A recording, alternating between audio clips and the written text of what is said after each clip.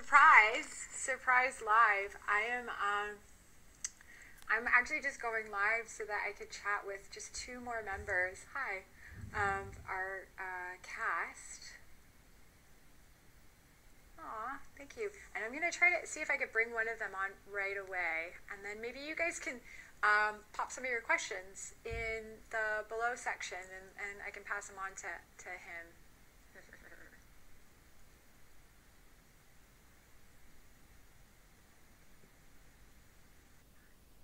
There we go. We'll see if he, we we'll see if he answers. Hi guys. Hey. Hey. Finally, right? hmm Can you hear me? I can. Yeah. I changed earphones so that hopefully this will be better. Uh, might not have been just that. I, I've had to start and delete and start and delete like three different Instagram accounts. So, Oh, really? yeah, Okay. I'm, I'm, I'm terrible at this. How are you? I'm all right. I'm all right. I mean, we launched, you know, so it's out there. I just spent like the morning since three o'clock this morning doing interviews. I'm like, "Ooh, a lot, which is, I mean, it's a gift, it's a blessing and stuff. Mhm. But I'm also kind of like, I can't wait to tuck in and go to bed. But, but I'm happy to talk to you finally. Yay. The show's out there, which is good. yeah, yeah. Um, Can we go? I was- There's not yeah, in the background. Anyway, far away. How are you? Happy? yeah. Happy? I think they're happy. I think so. I think they're responding to it, and I think they're responding to. I think they're responding to Cal. I think they're responding to the trajectory that that uh, that combo make. But um, I just like we didn't get a chance to talk last time. All the other actors were talking a little bit, of course, about their quarantine and blah blah. blah. Um, but besides that, just sharing a little bit about themselves, which I thought was really beautiful because the audience got to know if they don't know them already, they got to know a little bit more about them. And uh, ca if you don't mind, can I like grill you on a couple of points? Yeah. Yeah, yeah, yeah. Easy. Okay. Okay. Good. Um, so okay, second season, you come into a show, and you've already done this before. I know. What What was it like to come in on this show in the second season? Like, what were some of the things that you were mindful of as an actor, as a collaborator, as just a storyteller in your own right? Right? Like, that's something that I think the audience might not know, but Oded, who was our our executive producer and our first director for the first season, and also our director for a major chunk of the second season. Mhm. In so many ways, a part of the creative initiation of this show, loved you, absolutely loved you. He felt like you are a future director, you're a future writer and storyteller, and he felt like he had a collaborator with him on set when you came on set um, because you're you have that scope of seeing where do I fit in, how can I assist, um, and so on. And so, what was it like for you on your end coming into a show that already had a little bit of you know leg underneath? Uh, it was nerve wracking a little, you know, because you want to find your place, but you want to do it the right way. And I, I mean, I did my audition for this in. I was in South Africa working, Yeah, then to tape off, and then I happened to be back here in LA, and I got told off, can you come in and meet Stana at Sony? So I went in and did the audition with you, yeah, which I felt like it went really well, and and then. I was lucky enough to be told, okay, you're going to hop on a plane and head to Bulgaria to film this this incredible show. So, you know, I, I binge watched everything and watched the whole show. And yeah, I was amazed when I landed in Bulgaria and Oded told me that you guys shot all 10 at the same time. That's nuts. yeah. It is nuts. I, that's, that's, I, I still can't get my head around that. Yeah, And, like, um, I think the most I've ever shot might be four at once. you know. yeah, Um, but then it was just about trying to find the right balance. You know, I think the show has a very, a, a really strong voice, and that voice at the time was obviously yours and Oded's, and Oded was getting ready to go on to his next project, and um, we were very lucky to obviously bring on Kasha and bring on um, new creatives, and I I knew from early on, you know, that Cal, it's a slow bleed. Like we were going to introduce Cal kind of slowly. So just to find the rhythm of the show. And the show definitely has its own style, and it has its own style which um, transcends just the page. You know, I think you advocate for everybody to have a strong voice, but you also work incredibly hard. That's what a lot of people, um, if they're watching this, they might not know that, um, you know, Stana works till probably two in the morning every night, collaborating and talking to LA and talking to all people in Bulgaria just to make sure that everything's you know up to speed for the next day because she's got definitely the executive producer hat on as well as actor. And um, I don't know it just felt like one of those things of really just being aware of what everybody was was going through and and you know there was a lot of interesting character developments going through last season and then I was particularly blown away um, when I got to watch the show. Mm-hmm. Um, you know, because from an actor's point of view, often you, you do read things subjectively and you do look at them from, from your prism and and because you need to, you need to focus on what your part of the big circus is. And then when I got to watch the show and see the incredible work that someone like Angel was doing with you, it completely changed the way that I saw the journey of Cal, you know, because, I mean, Cal was introduced into this show as a bit of a partner for Emily, and then there was the potential for something to happen there or not. And and on the page, it was kind of there, remember? And then I, you know, obviously Tommy, the character, goes through so much and so much with Emily, and then with his passing, it just felt when you and I both got on set, it felt completely unnatural to just move Emily so far in one direction. Yeah. And I remember looking on the page, I was like, why not? Like, it's just, you know, it's, it's Emily and Cal. And then um, when I got to see the show, yeah. and I got to see the amazing work that you and, and Hel were doing, it made complete sense to be as truthful to that story and, and yours, you know. Um, and and then just to, to go headlong into Moldova when we jumped in, that's when I felt like, you know, I found my voice and we found it's out. fun. We so found out. fun. and, that's the thing. You want chemistry to develop, and you, you know you don't want to force anything. And mm. as an actor, you want to be as much a listener as you do with anything. So, you know, and then we were lucky enough to, um, you know, to keep delving into these two characters all the way through this season.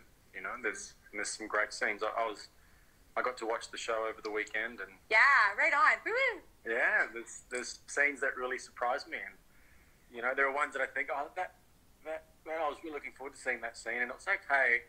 And then others I just thought were, oh yeah, just that day was that day, and then I was surprised at how great they were. So yeah, or you know how organic they felt or whatever. But um, no, I I uh, I've joined a few shows and and in second season, and then uh, and but you know this one's definitely different because it challenges you and in a way creatively to be a little bit more bold and, and a little bit braver and, and as present and vulnerable as you can be.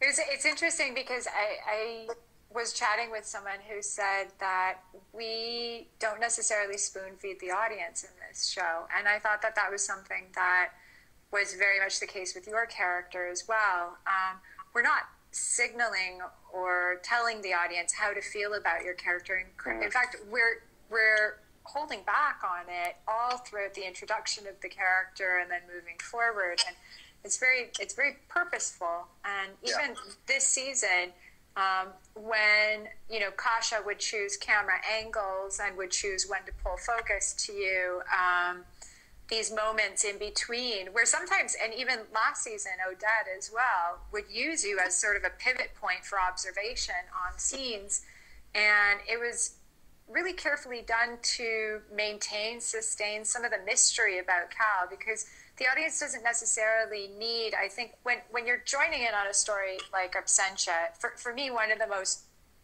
critical lines of this season um, is at the very end where the character says sometimes it's about valuing human life. And i thought that that in some ways encapsulates for me right from this perspective granted it's my perspective but it encapsulates the journey of nearly all three seasons um, for all of the characters, right? And I think that we don't need, in some ways, to be didactic about it. We can let audience members fill in the blank in many spots. And one of the places that we were allowed to do that was with the development of your character, his intentions, his um, there's so much, you know. And and I don't know. Maybe you wanted to chat a little bit about that as well, because that was something that we we like ached over so many things, you know, over these months. There would be moments for the audience, there would be moments or days that I was like, Matt, please just come take a look at this scene. Because most of us were, were in the same hotel, and Matt, uh, Matt would journey over from his place and help rehearse things or run things or look at script stuff or dialogue with whomever to with whomever, right? Whether everyone, the entire team, because that's kind of the culture that we had. It was a collaborative culture to try to see what can we do to elevate, deep, and call back everything. You know, so I, this is about you. I'm blabbing a lot, but maybe you can talk a bit. no, I think I think you're given an opportunity when you introduce another character into the show to have a different perspective and and also someone that can watch Emily from from afar, which you know most much of the show is from your point of view. That when we flip that in a scene and we see you going through something, it's it's a powerful tool for a director to be able to use. Um, but no, we, we definitely wanted to hold back on on um, Cal and, and his ambiguity through uh, both seasons, all the way up until the end, really. And I think there's there's drama in that, there's opportunity in that, in storytelling. Um, you know, if you do, if you do, like in a romantic comedy, when they get together, it's, it's the, the film's over. So, yeah. And with this, there was always, you know, that you wanted to have that danger and, and you wanted to have that ability to pull these characters apart and then smash them back together and pull them apart again. And, um, you know, I think you know, I think we're very lucky in that sense where we, we were able to all work together and collaborate. And we were very lucky to have such support from Sony and from the writers to allow us to indulge in that. And then on set, it's just about trying to be as have as much chemistry and you know creativity as possible, and, and it, it seems to work. I think so. You know, looking at some of the questions down here, and yeah, yeah, people, people want to talk about episode six. tell me, tell me a bit about Cal. Tell me a bit about mm-hmm. that. Was like we look we hinted at some major points about Cal in um, season two, and again, not spoon feeding anything. Just you know, between the conversations that you had, your character had with Holt, mm-hmm. a lot of it was platformed there. Um, what did you did you speak to people you know people you're so engaged in the world you've traveled all throughout um, western Af- or sorry eastern africa mm-hmm. and um, and contributed in many ways um, even in australia and so forth so i know that you're engaged with a lot of what's happening out on the planet in a way that would make you aware of some of the things that Cal may have been exposed to. So maybe you could talk a little bit about some of the inspiration and some of the things that you drew from while knowing that this isn't the entirety yeah. of it. Yeah. Uh, I mean, one of the experiences that I had was working a lot in Tanzania up near the Congolese border, and I got to meet a lot of people that did work on security detail and did work uh, in parts of the world and had done some things that might be um, morally in line with maybe some of the stuff that Cal had been forced to do. So in many ways, uh, I was lucky enough to you know meet the human side of someone like this rather than just seeing it for who they are and, and judging them. I was fortunate enough to meet people and realize that you know often really good people are asked to do really horrible things and um, and then this year, Will introduced us to an incredible person, Jason Amorine, who flew out from DC mm-hmm. and met Patrick and I, and we spent a whole day with him. And uh, I've been able to build a friendship with him, and we still talk. I just spoke to him the other day. Um, yeah. And Jason, you know, he spent a lot of time in Afghanistan and a lot of time all around the world dealing with um, in hostile situations, you know, and dealing with really complex issues. And and then when it came to trying to bring a little bit of that towards Cal, we were so lucky where Kasha, Oded, and you know, everyone last year kind of gave us a bit of a blank slate because much of it was about his backstory. So, which we never really tapped into. It was just little droplets along the way, you know, with Holt's or even with that audition scene that I did with you, there was a little bit of a hint, and that didn't end up in our series in our season, right? Yeah, yeah. And then when that aired, I think Will saw an opportunity, um, and an opportunity to develop this character in a way that we put down a few foundations, and then when I was given the scripts in June, which I know you've been working on for a very long time, because you know you're obviously an EP on this mm-hmm. uh, there was so much there. There was there was such strong foundation for, for us to build a journey and a character. And then by the time we get to six and the hammer drops, and you get to know about Cal's past and some of the things that he done, and it's I mean those they're just gifts for an actor. Yeah. You know, to be to be given an episode where um, you have to go through such emotional um, truth and backstory, and you and you get to show the reason why you have these scars. It's just such a it's such a gift. Mm-hmm. So um, that was an incredible, you know, time on set there, and and to be supported so much by you and by everybody else, it was just it was just you know lucky, and then and to have such a great filmmaker like Kasha shoot it, mm-hmm. you know, it's it's it's very rare, you know. Yeah, there's a couple of scenes that we um, we lost in the edit. And I was just talking to one of our other actors who's like, "Oh, there's a scene that's not in there," and I was like, "Yeah." Yeah. And and oh, I saw a couple. I was like, "That's did that happen that way?" Okay. Yeah, yeah. And and that's one of the things that man, it's such a burden when you're in the middle of the editing process. And of course, you know, I, I'm one of the people who's participating in that thing, yeah. but I don't I don't win the battles. You oh know, no, but you, know, but you know that scene that we worked on that you and I yeah yeah were thrilled you know, on the yeah day. Right? yeah. Having watched the show, it, it, couldn't have stayed in. I know, but it's an amazing scene, right? Yeah. It's an amazing scene. So that's why there is such a long discussion about that scene, amongst others, right? Like, yeah, I, I, I, can't tell you the list of scenes that I was like, oh no, please don't lose this one, right?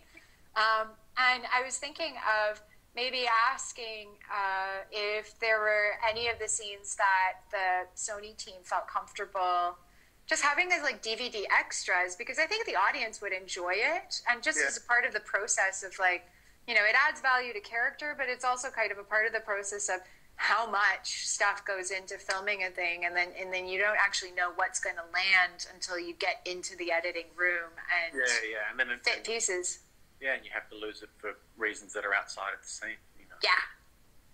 Yeah. In saying that, you know, it was such a crazy time to shoot over there, especially that last month, that I think the work that everybody's done in post and in, in the edit has been yeah. pretty special because it flows and it races to the end. Yeah. It just it has such a nice balance between the two storylines, and then they obviously converge on in Ep Ten. But um, I uh, yeah, there was there was nothing that I watched and realized that it was gone that I didn't understand why it was gone. Yeah, exactly. Um, yeah. In seeing that, you know, some of those deleted scenes were. I mean, I'd like to see them. I know, right? I know. I'll ask. I'll see if they'll if they'll be up for uh, for sharing that.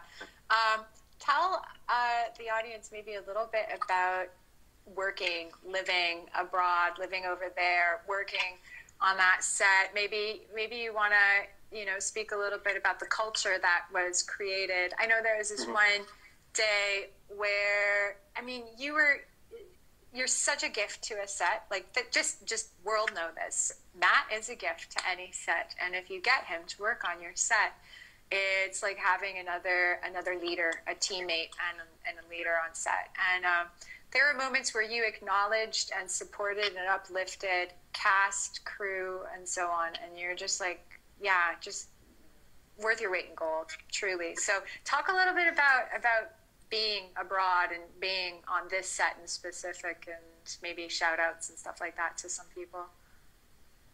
Uh, I think you know when you get to work on any film set, it's a really lucky opportunity, you know. And and then when you finally step on set, often it doesn't quite um, bring the, the same camaraderie and love and passion and that that you really would, would wish for, you know. And, and there have been times, I'm sure, in the past, in my career and you know, and in, in possibly yours, where you just something doesn't. There's not the the kismet doesn't quite come together. And on this one, it was different. On this one, there is so much uh, love and sweat and passion put in, and as much from the crew as any actor. That when you step on set, you feel like you're part of a team of 60 or 70 people, not just five or six cast members. And it's a real, I think, European way of making film. And I now think back on the experience that we had and, you know, our AD team, our stunt team. They're just the most committed, magical people that are all working, you know, 18 hours a day Yeah. for no other reason than they just love what they do and they love who they work with. And and the conditions aren't easy you know. We're working um, trying to recreate much of Boston and other parts of the world and, and yet what is achieved is just phenomenal. And no one is looking for a shortcut ever. No one is ever looking for um, a pat on the back. It's just this incredible mentality of the people in Bulgaria that are as much a part of this show as, as anyone else. Outside of probably you, 'cause you're like working harder than everyone for two years for one season. But you know what I mean? It's just a really special, magical time. And, Yeah. And and then you get to go away to film school. You know, Yeah. I, I have a young family. I have two kids, and Yeah. and it would be difficult trying to commit that much energy if I was still here. You know, and when I'm here, I'm a full time dad, especially in quarantine. Uh, Yeah. full time homeschool dad. But no, but over there, it's just it's like this film school for four months, and you just disappear into the stories and the characters, and and then you realize everyone is as committed as as you are, and it just elevates the experience. You know that you just hope that it finds an audience, and when it does, that they go along the journey because it's as truthful a filmmaking experience as I've ever had, and I think I could ever wish for. Yeah, right on. Do you want to um, do you want to give a little shout out to Milan and uh, your sort of tag teaming with him? I think that was a fun collaboration. Uh, my, my, my stunt team over there. You. Well, by the way, I should shout out to Frankie because when Frankie came on the screen, Yeah. everyone that was in my house was like, "Who's that hot man?" So everyone, Frankie, I don't know if you're watching, but Aw. No, we had Black Rat Stunts were our stunt team, and they did an exceptional job of creating a world because there's a lot of action, obviously, this season, and creating a world that is bigger than just you know, any stunt team I've ever worked with for what little they had, and and the sequences are incredible. Like now that it's out there, we could probably talk about it. Your sequence to get out of I know. I know. It's unbelievable. Did you like it? oh my god! I love that one was sitting here watching it with Michelle and, and friends, and there was a few stunts that they were all just like, "Oh my god!" Like it was like really cool. Sorry, got excited. No, that's that shit looks great. And compared to my fight, I was like, my fight's no, no, no. no. Let's, not, let's not get a love in now. Let's not No, get a I'm love not. in. It's not. It's a true thing. No, no, no. Because. I was like, yeah, okay, all right. You I'm do a not gonna spin move and then you shoot that dude behind you. It was just That's cool, huh? it was cool. cool. I was like, all last season, I remember thinking my fights in season two were better than yours. I was like, oh yeah. And, you, and we, we always had this competition, right? You were like, now my fight's going to be better. And I was like, oh, this season. But now that I've watched season three, yours are, they've, taken, they've taken it to a new level. So yeah, congratulations. And uh, the stunt team are uh, so amazing, yeah, you know, and they do it all day, every day, and they're there like, ah, just, I mean, I'm getting a little bit emotional just thinking about it. They're just so special, those, yeah, those men and women, and Yeah. how hard they work. But I hope, if, I mean, who knows, but if anyone's watching this and thinking of making anything anywhere in Europe or anywhere else, get in touch with Black Rat Stunts because they'll, uh, they'll make you proud. and and the whole crew, the whole crew over there. I think that you know, um, I think we left out, and I, I keep saying to people, I said this this group has worked on major action films Mhm. for decades now, and an action film is it's not easy to do. I mean, this is something that requires technical prowess. You're talking about lighting, like Pavel. You're talking about yeah. You're talking about our grip guys like Joro Yeah. and the whole team. You're talking about our wonderful special effects um, friends in makeup like Ani and, and Vera and all of them. Um, and Olga from costumes. We had an amazing crew. They gave their heart to it. And, They really you know, yeah, it was They a really gift. you know, and it's one of those things as an actor you, you often get on set and you know in Australia or sometimes here you, you can see that, that not everyone has that passion. Yeah, You know, it's just a job, it's a gig, right? yeah. Um, but there's That breaks my heart when I feel that on a set. That really bothers me. Yeah. Uh-huh. Do you do you care like as much, or are you kind of immune to it now? no, I care. Like I'll, I, I get upset and pick a fight, and I'll tell someone if they're not interested, then rack off. You know. Yeah. Yeah. Um, but yeah, no one ever didn't bring their A game, and they just, you know, all those people, Pavel and Yeah. Pavi and Tony and Eddie. Yeah. Eddie was Yeah. just here actually, but um, yeah. Yeah. Let me let me see if there are any questions. Do you guys want to ask some questions of Matt in this? Uh, guys, you we want okay. Australian, yes, he is Australian. How did you know? Let's have a look. Can you see the questions? I can see some. Okay. I don't know whether they're live or not, but refreshing. Yes, yes, yes. So maybe mine aren't live. Oh, I'm getting a lot of yeses as well. Mike and. Are there any questions before we have to jump off? I Yeah. fear that I'm boring people. No, not at all. Do you have a favorite app? Why did we Why did we choose Schönberg in Austria? That's a Will question, isn't it? Um, Will Will Pascoe is our, our uh, showrunner and the uh, sort of main creative force behind season three. Um, and I'm not sure if there is a story behind why he chose Schönberg, but we could ask him. Do you know if there's anything behind that? No, I know. I know. You know, last year we went to Moldova, and then this year there was talk of going to different parts of the world, and, and I know that you know you included in that conversation. You wanted to take it somewhere new and fresh. You didn't want Yeah. to rehash somewhere that maybe it had had some issues in the past. So Yeah.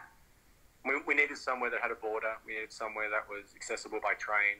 Because Yeah. Will, Will did want to shoot something on the train, so that always Yeah. somewhere you could push me off a train. That was fun. did we laugh together? We did. I think we Yeah. laughed plenty of times. the fight scene's hard to learn. yeah, Uh, were they? Were they? and specific funny moments behind set.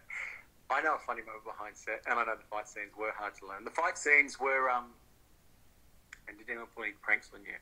Well, can I talk about that the morgue bit?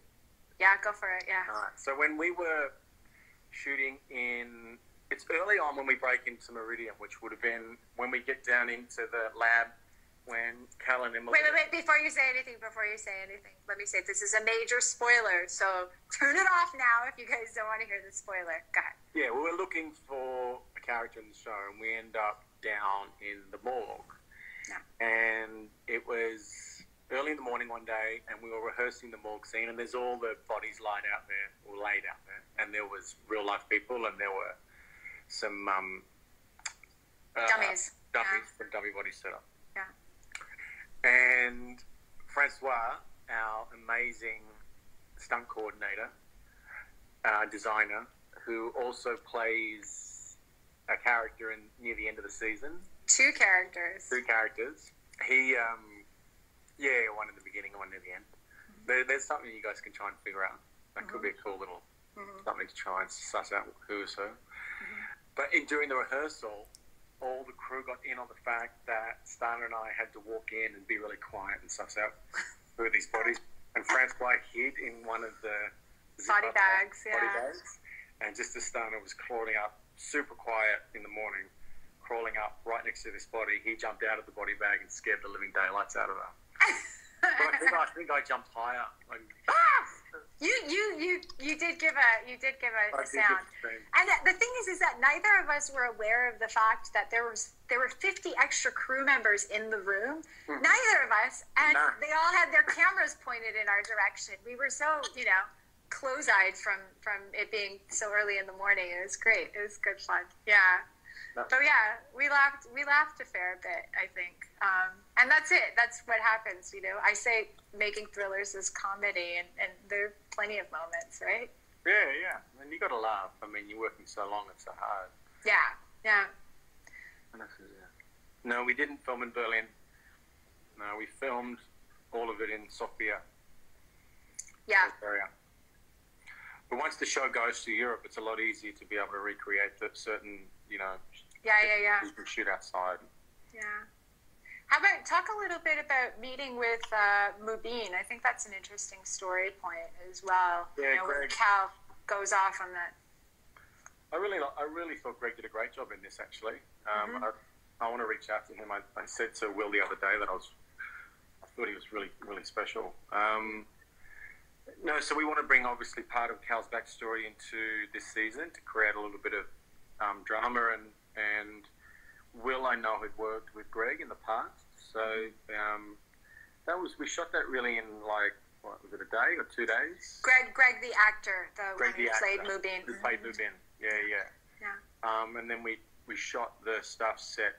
Um, I thought you guys had a beautiful chemistry, the two of you. yeah, he's yeah, light. and, Yeah. You know, Yeah.